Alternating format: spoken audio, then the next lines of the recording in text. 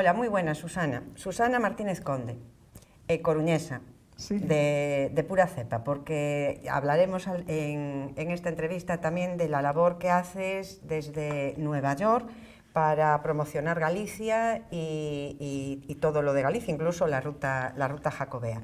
Pero vamos por partes. Eres neuro, neurocientífica y tu trabajo y catedrática en la Universidad de Nueva York. De la Universidad del Estado de Nueva York. Del Estado de Nueva York. ¿Llevas allí trabajando cuánto tiempo?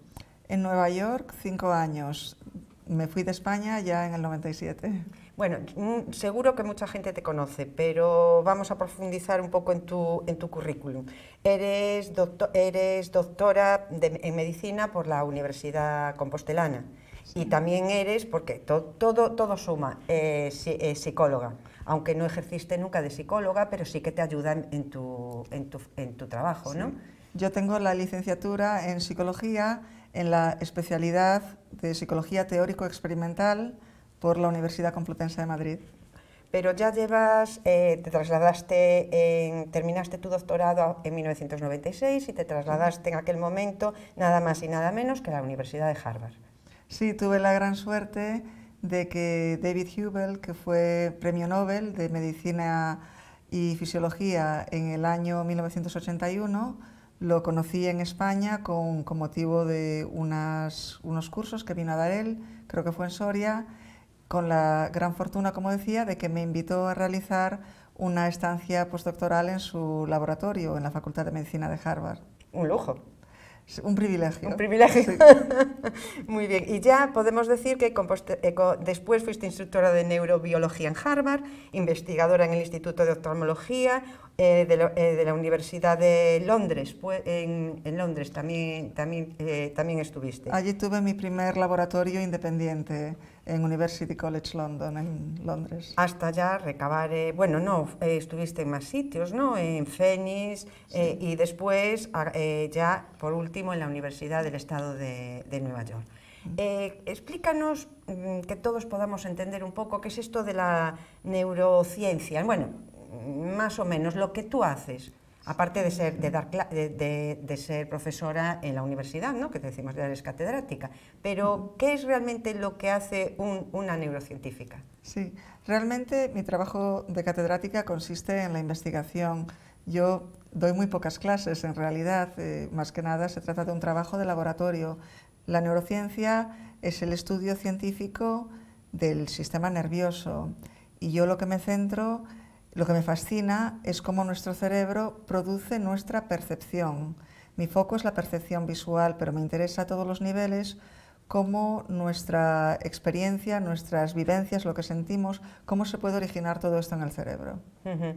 Y a partir de ahí estudiáis las enfermedades, mm, digamos, todas las patologías que puedan dañar eh, la visión, mm, más o menos. Nuestro trabajo tiene una vertiente de investigación básica, y una vertiente de aplicación clínica, también de aplicación a industria y, a otros niveles, pero gran parte de, de, lo que investigo está en la intersección de lo que es visión, movimientos oculares y cognición, atención, memoria, etc. Entonces, lo que apuntabas de las enfermedades neurales y enfermedades también oftalmológicas y los movimientos oculares, eh, lo que es interesante y lo que es muy útil es que como el sistema oculomotor que nos permite mover, mover los ojos, o sea, eh, cómo movemos los ojos y hacia dónde, el sistema que lo controla se extiende por todo el cerebro, desde los lóbulos frontales hasta el tronco cerebral, eh, abarca, el, se extiende por la mayor parte del cerebro, uh -huh. vamos a decir, para simplificar. Uh -huh. Entonces, hablemos de la enfermedad neurológica de la que hablemos sea la enfermedad de Alzheimer, sea Parkinson, sea una lesión por traumatismo, de cualquier manera va a afectar a los movimientos oculares, de, puede ser a la velocidad o a la precisión, pero se van a afectar y la manera en que se afectan estos movimientos oculares uh -huh. nos permite pues, diagnosticar diferencialmente estas enfermedades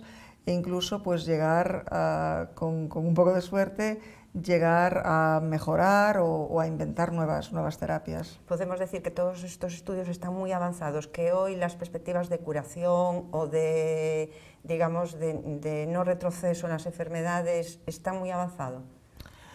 Está muy avanzado pues con respecto pues a, a cómo estábamos hace años. Claro, yo pienso que todavía queda mucho más por descubrir de lo que hemos avanzado hasta ahora, pero evidentemente se, se está haciendo progreso y ahora yo creo que bueno, uno de los campos en los que va a ofrecer mayores posibilidades de avance es en el tema de las prótesis neurales, que esta también es una, una línea de investigación en la que en la que estoy colaborando con, con el laboratorio de, bueno, de Steven Magni, que además es, es mi marido, es mi colaborador principal, y estamos ahora mismo trabajando en el diseño de una prótesis para implantarse en la, en la corteza visual del cerebro, que está aquí en el lóbulo occipital, uh -huh. y esto sería para permitir recuperar la visión a personas ciegas. O sea, estamos hablando de algo que parece que es ciencia, ciencia ficción, ficción, pero que sin embargo ya estamos Todavía no lo tenemos, pero ya estamos dando los primeros pasos. ¿Y estos primeros pasos y estas investigaciones son exclusivas de los Estados Unidos, de donde tú estás trabajando, o tenéis relación con neurocientíficos de, de España? Tenemos relación con neurocientíficos en, en España, pues... Eh, con la misma investigación. Con, haciendo investigaciones en líneas eh, similares o, o relacionadas, también tenemos colaboraciones pues, con científicos en otros lugares, pues desde España hasta en China, hasta bueno, en, en infinidad de países. Entonces yo creo que la investigación que estoy haciendo yo hoy por hoy la hago en Estados Unidos, pues también es el lugar donde me han ofrecido más medios para hacerla, pero la investigación no se hace de forma cerrada en el laboratorio, sino que cada vez se colabora más. Internacionalmente. Sí. Y ¿Tiene ventajas trabajar allí comparado con, trabajar en España, en el ambiente científico? Yo creo que, bueno, no sé, pues podemos hablar de generalidades o de, casos concretos. Yo creo que hay laboratorios en España que trabajan muy bien y que no tienen nada que envidiarle a laboratorios en Estados Unidos o en cualquier otro país. Ahora, a nivel general, existe mayor financiación y más medios, más recursos en Estados Unidos que, que, en España. Es decir, la financiación siempre es el lado malo de, de, España, digamos, de los científicos españoles, la falta de presupuesto. Eh, los científicos en todo el mundo. En Estados Unidos tampoco la investigación se ha recuperado desde la crisis. No hemos vuelto a los niveles de financiación que teníamos pre-crisis.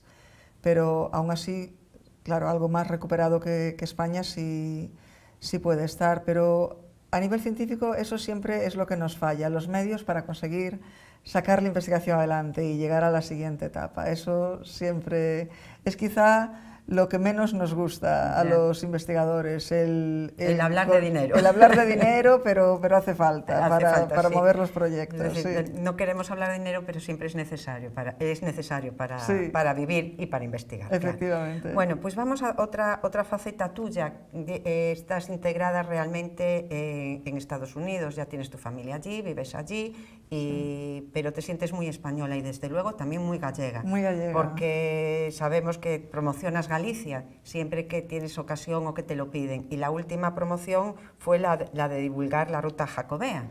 Ah. Eh, cuéntanos cómo, cómo, lo haces y por qué lo haces. Pues eh, como gallega, bueno, es algo que para mí es, es, forma parte de quien soy y por mucho tiempo que lleve fuera, bueno, ya me dice todo el mundo, todavía tienes acento gallego. Es que nací con él, ¿no? Y, y, no, se me, no se me irá nunca. Entonces yo creo que el ser gallega es parte de mi, de mi identidad.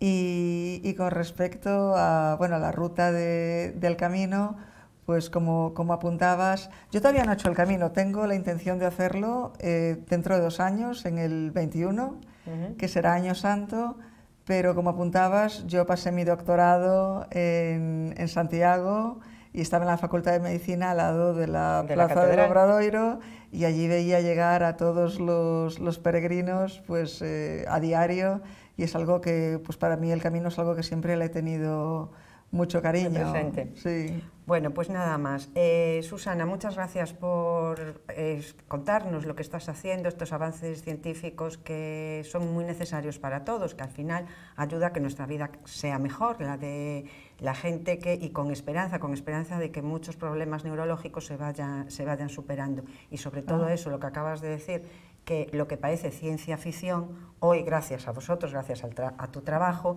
eh, se, se convierte en una, en una realidad. Y también muchas gracias por seguir siendo muy gallega, por seguir apoyando a esta tierra y sobre todo porque todos los avances, seguro, y todo lo que tú eh, puedas conseguir, llevará siempre ese sello gallego que también nos, nos hace eh, estar orgullosos de gente como tú. Muchas gracias por, por venir al Correo Gallego y a Correo Televisión. Pues muchas gracias a vosotros por esta visita.